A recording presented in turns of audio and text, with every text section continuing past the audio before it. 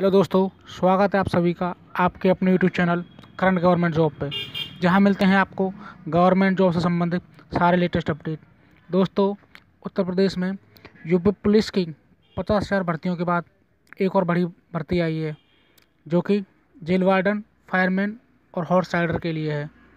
दोस्तों, ये भर्ती है चौवन सौ उन्नीस पद के लिए और इसमें सभी राज्य के अभ्यर्थी अप्लाई कर सकते हैं, जिसकी लास्ट डेट अट्ठाईस दिसंबर है और इसमें मेल और फीमेल दोनों अप्लाई कर सकते हैं।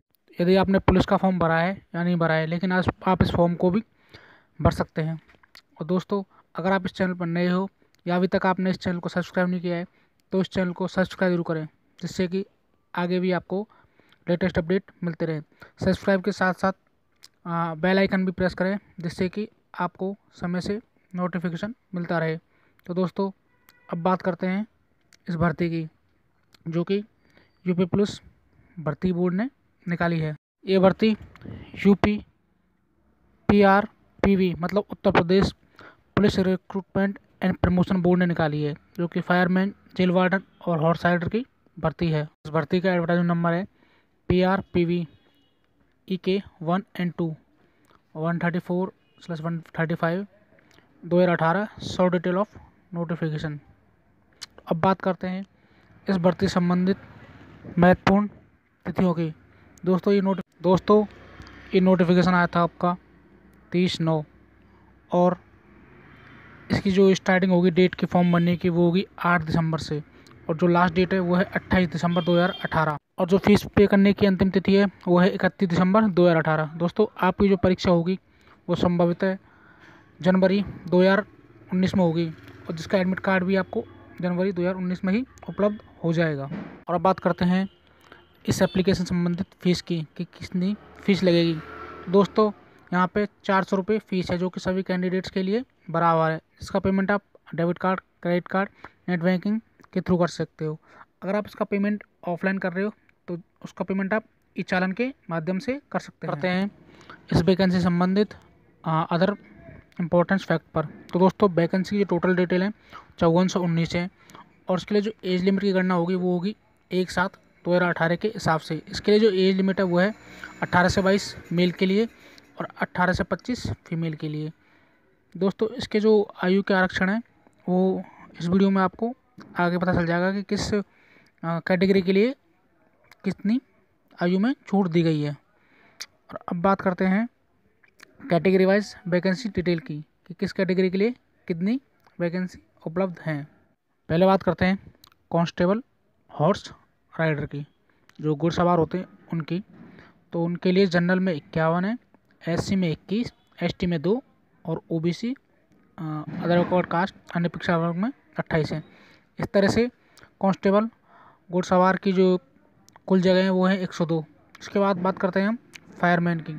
फायरमैन के लिए जनरल में आठ सौ इकतालीस है, एससी में तीन सौ बावन एस में तैंतीस ओ में चार सौ तिरपन।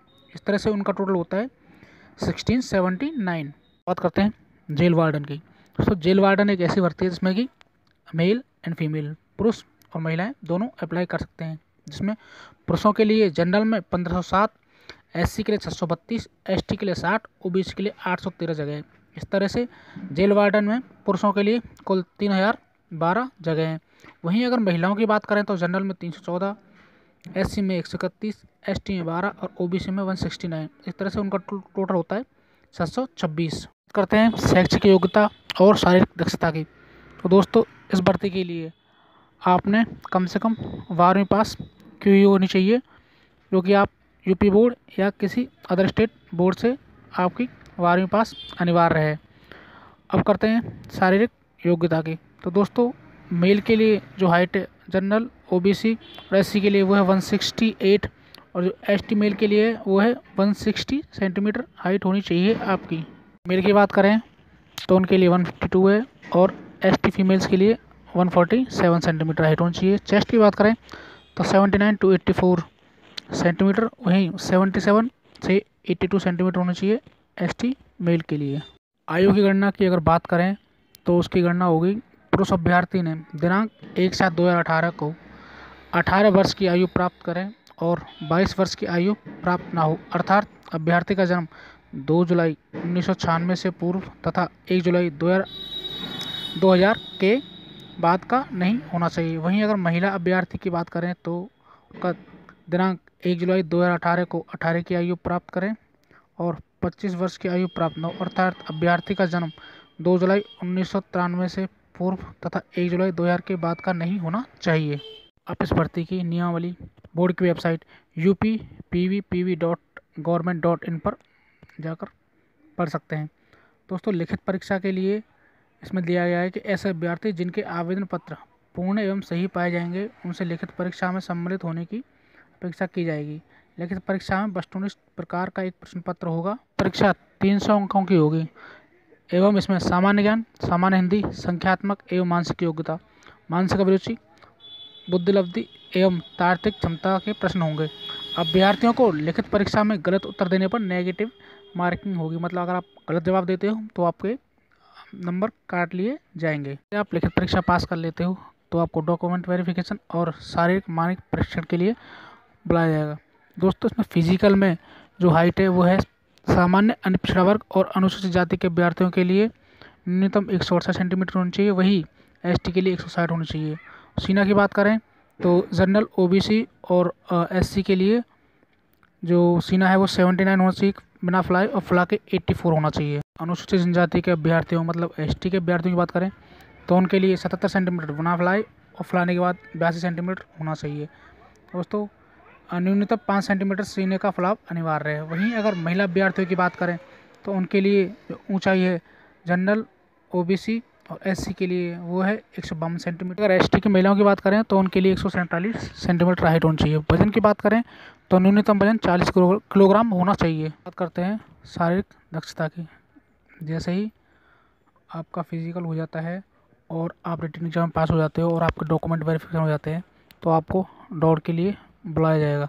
इसमें पुरुष अभ्यर्थियों को अड़तालीस सौ मीटर मतलब चार पॉइंट आठ किलोमीटर की दौड़, पच्चीस मिनट में, अधिकतम पच्चीस मिनट में, वहीं महिला अभ्यर्थियों के लिए चौबीस सौ मीटर मतलब दो पॉइंट चार किलोमीटर की दौड़, चौदह मिनट में पूरी करना अनिवार्य होगा। अभ्यर्थी दिए समय में ये दौड़ पूरी नहीं कर पाएगा, वो भर्ती के पात्र नहीं माना जाएगा। आयु में छूट है, अनुसूचित जाति के लिए वो है पाँच वर्ष की, अनुसूचित जनजाति के लिए पाँच वर्ष की और ओबीसी के लिए भी पाँच वर्ष की है। और जो आरक्षण में प्रतिशत है, अनुसूचित जाति के लिए इक्कीस है और अनुसूचित जनजाति के लिए दो है और ओबीसी के लिए सत्ताईस परसेंट है। दोस्तों, अगर सिलेबस की बात करें तो इसका सिलेबस जो यूपी पुलिस का सिलेबस है, सेम वही सिलेबस है। इसमें सामान्य ज्ञान आएगा, सामान्य हिंदी आएगा संख्यात्मक एवं मानसिकता आएगा, उसके बाद मानसिक अभिरुचि बुद्धिलब्धि मतलब आईक्यू और तार्किक क्षमता के सवाल आएँगे। दोस्तों, कमेंट करके वैसे बताएँ कि आपको मेरा ये वीडियो कैसा लगा साथ ही साथ चैनल को सब्सक्राइब ज़रूर करें और वीडियो देखने के लिए आप सभी का धन्यवाद।